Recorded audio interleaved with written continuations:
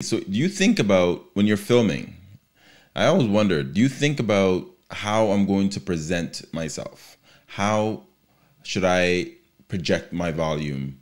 Uh, are you thinking about your eyes and are you making the right contact with with the you know the video the, the, the camera like what are you thinking about i'm trying to think, figure out what techniques you use that seems to work with your audience obviously it took you years and time to you know build that rapport mm-hmm. with them but for somebody listening and somebody like myself who's still you know on the ground boots on the ground trying to get up there what do you think about what's your process when you're going out say you know what i'm gonna go i'm doing my regular shopping but how do I engage when I do this film if I do decide to record?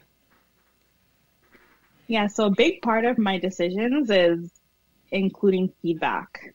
And when I say feedback, I'm going to just shoot that word out and then let everyone know don't take it too heavily. Like, because mm-hmm. it's not all feedback that's good feedback, but it's good to know how to accept feedback and how to take action from feedback. And so a big part of why my videos are filmed the way that they are, a big part of why I film in the style that I do or that I show up the way that I do is because my audience lets me know what they like. Mm-hmm. And sometimes they let me know without me asking, which is a little harsh mm-hmm. at times.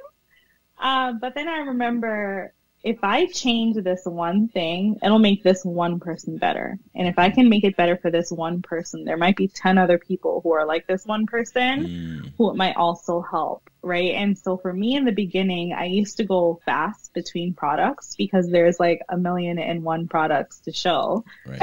Right. inside that big warehouse. Um, and then I realized, hey, a lot of my viewers are requesting that I go a little bit slower and mm. some of my reviewers are requesting that they see the product and then the price. I used to show the price and then the product. Mm. Um, and then they would say things like, you know, can you make it like more clear?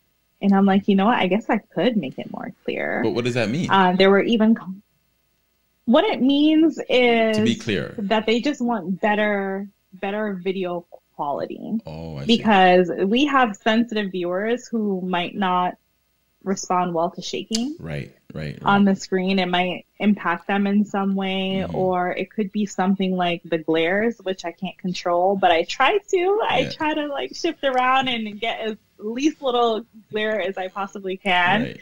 It was things like that, and the biggest thing that I think made my videos so much better was like the music. So mm. really quickly, I thought I was like a DJ.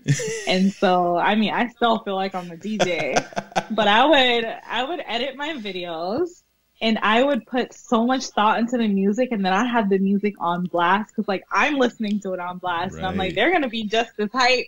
They're going to be just as hype as me because this song is like keeping me energized through this, right?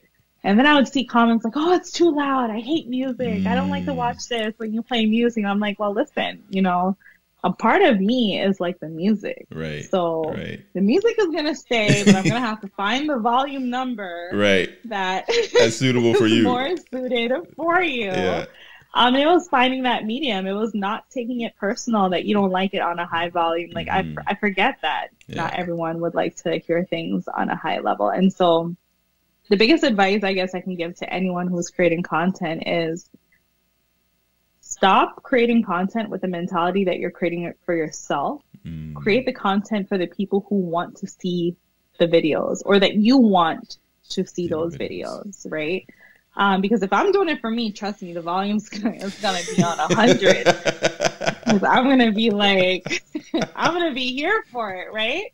But I know that that's not gonna give me the traffic that I want. It's not going to give me the feedback that I want to hear. Yeah. Um, and now I get feedback like, Dee, I was watching this Costco video and I was like, why is it so weird the whole time? Like the whole time I'm just not in it and I'm thinking Dee's having like an off day. They get to the end of the video and they're like, oh, it wasn't your video. That's why I didn't like it. And I'm like, yes. yes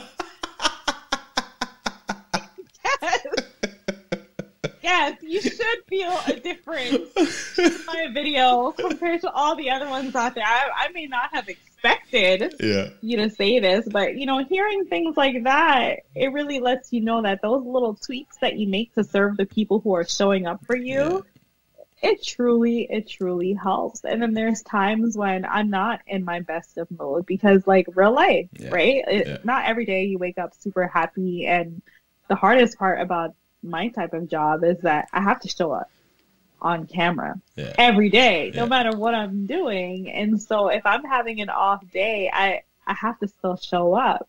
And what I've started to learn is that my audience knows me so well Mm, now, even on the days when I'm like doing my best to show that like it's not an off day, they'll leave comments like, "Oh, your voice sounds a little off. Are you feeling sick again? Are you tired?" And I'm like, "You, you know that I didn't sleep last night. you can hear that in my voice Yep. with the effort. Like that means you are really here for me, Yeah. as opposed to." Taking it in a in a negative way, like, oh, you don't think I performed good enough? Right, Like that was my best for Yeah. that video, right? Yeah. It it wasn't that attitude. It was more like Yeah. you could tell Yeah. that I didn't sleep like that. I just want to make another video just for you Yeah, now. yeah, I just want to make this video.